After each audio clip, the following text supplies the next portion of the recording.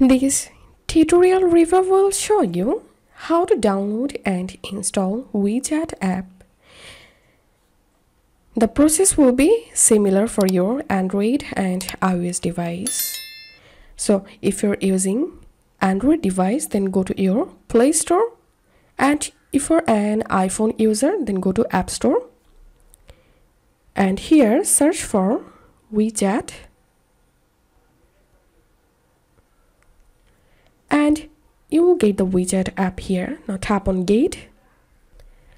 Double click on the side button to verify. And it may take some time to install the WeChat app on your device.